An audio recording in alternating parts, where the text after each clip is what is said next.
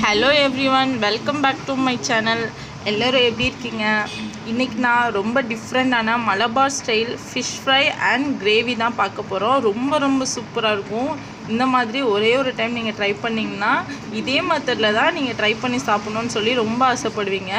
ரொம்ப நல்லா இருந்தது இந்த டிஷ்ஷு இது வந்து ஒரு நல்ல சைடிஷ்ஷு கண்டிப்பாக இந்த கிரேவி நீங்கள் ட்ரை பண்ணி பாருங்கள் ரொம்ப சூப்பராக இருக்கும். இப்போ நம்ம வீடியோக்குள்ளே போகலாம்.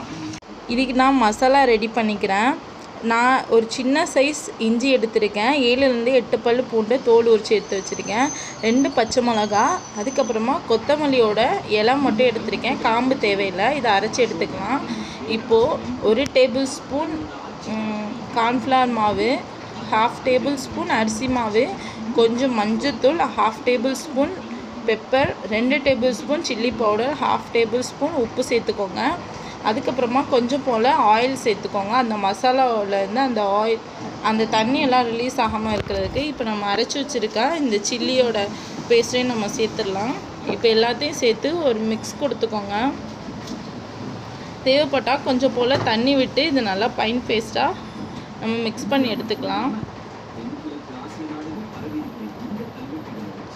எனக்கு அந்த மிக்ஸி ஜார் கழுவி கொஞ்சம் தண்ணி ஊற்றினா அதுவே கரெக்டான இதில் இருந்தது.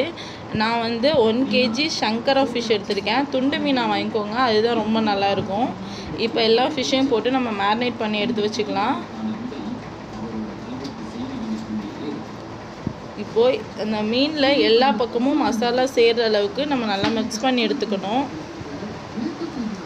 ஒன் பை ஒன்னாக எல்லா ஃபிஷ்ஷையும் நான் உள்ளே சேர்த்து மேரினேட் பண்ணி எடுத்துக்கிட்டேன்.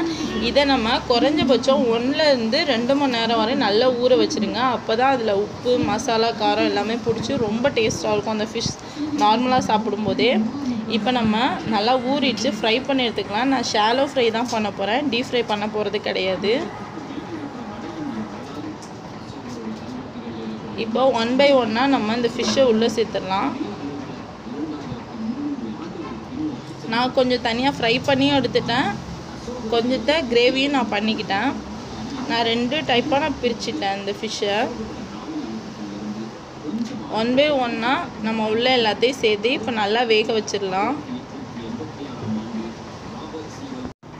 இந்த ஸ்டைல் ரொம்பவே நல்லா இருந்தது. எனக்கு ரொம்ப பிடிச்சிருந்தது. நல்ல காரசாரமாக இருந்தது இந்த ஃபிஷ் ஃப்ரை கண்டிப்பாக நீங்களும் ஒரு டைம் ட்ரை பண்ணுங்கள் இப்போது ஓரளவு ஃபிஷ் வந்து நல்லா ஃப்ரை ஆகிடுச்சு இப்போ நம்ம இன்னொரு பக்கம் திருப்பி போட்டுடலாம். இது வந்து நார்மலாக ஃப்ரைக்காக நான் பண்ணுற ஃபிஷ்ஷு தான். ஸோ நல்லா டீப் ஃப்ரை பண்ணிக்கலாம்.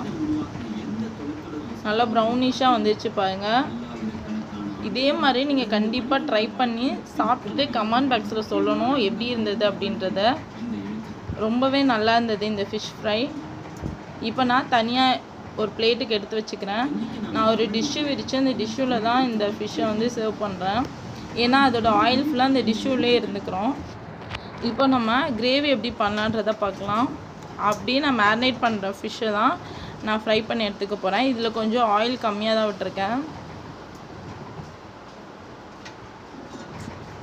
இது சும்மா லைட்டாக ஃப்ரை பண்ணி எடுத்துக்கிட்டால் போதும். ரொம்ப ஃப்ரை பண்ணணும்னு அவசியம் கிடையாது. நீங்கள் இந்த மாதிரி ஃப்ரை பண்ணிங்கன்னா அந்த மீனில் உள்ள மசாலா எதுவுமே உதிராமல் எல்லாமே ஒரே ஒரே இதாக தான் இருக்கும். நீங்களே பார்த்தாலே தெரியும். இப்போ நான் எல்லாத்தையும் ஃப்ரை பண்ணி எடுத்தாச்சு. இப்போ நம்ம கிரேவி பண்ணிடலாம். ஏழுலேருந்து எட்டு பல்லு பூண்டை வந்து நான் இடித்து போட்டிருக்கேன். அந்த எண்ணெயில் போட்டு நல்லா குக் பண்ணிக்கோங்க. அதோடய ஃப்ளேவர் ரொம்ப ரொம்ப சூப்பராக இருக்கும். அந்த பூண்டை அந்த எண்ணெயில் பொரியும் போதே இப்போது ஃபைனலாக ஒரு கொத்து கருகுப்பிள்ளையை நான் உருக்கி போட்டிருக்கேன்.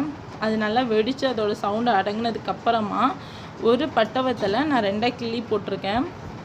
அது ரொம்ப சூப்பராக இருக்கும். அதோட டேஸ்ட்டு பட்டை மிளகா போட்டிங்க அப்படின்னா. இப்போ நல்லா வதக்கி எடுத்துக்கலாம். இந்த டைமில் நான் மூணு சின்ன வெங்காயம் இருக்கு இல்லையா? ஒரு நார்மல் சைஸ் வெங்காயம். அதை எடுத்து குட்டி குட்டியாக கட் பண்ணி வச்சுருக்கேன். அதையும் இப்போ நம்ம உள்ளே சேர்த்து நல்லா கோல்டன் ப்ரௌனாக நல்லா ஃப்ரை பண்ணி எடுத்துக்கலாம். எவ்வளோக்கு எவ்வளோ இதுக்கு வெங்காயம் வதங்குதோ அவ்வளோக்கு அவ்வளோ இந்த கிரேவி ரொம்ப டேஸ்ட்டாக இருக்கும். பாருங்கள் இந்த அளவுக்கு வெந்தால் போதும். ஃபைனலாக வந்து ஒன்றரை டேபிள் ஸ்பூன் இஞ்சி பூண்டு சேர்த்து நான் சேர்த்துருக்கேன். அதோட பச்சை வாசனை போகிற அளவுக்கு நல்லா குக் பண்ணிக்கோங்க. இதுக்கப்புறமா இதுக்கு ரெண்டு தக்காளி பழத்தை குட்டி குட்டியாக நறுக்கி நான் உள்ளே சேர்த்துக்கிறேன். தக்காளி வந்து அந்த வெங்காயத்தோட நல்லா மேஷ் ஆகிடணும் தக்காளி தனியாக தெரியக்கூடாது. நல்லா கிரேவி டைப்பில் வந்துடணும் அப்போ தான் இதுக்கு ரொம்ப டேஸ்ட்டாக இருக்கும்.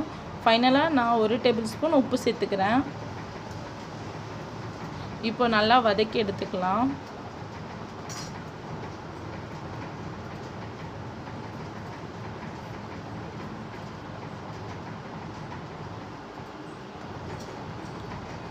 இப்போ இதுக்கு தேவையான மசாலாலாம் நம்ம சேர்த்துக்கலாம்.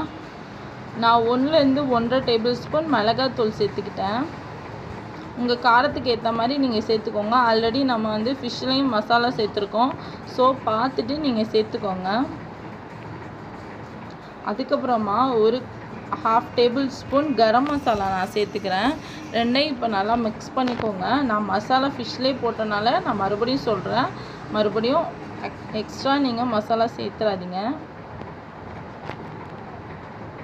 இப்போ எல்லாம் பச்சை வாசனை போகிற அளவு நல்லா வதக்கி எடுத்தாச்சு.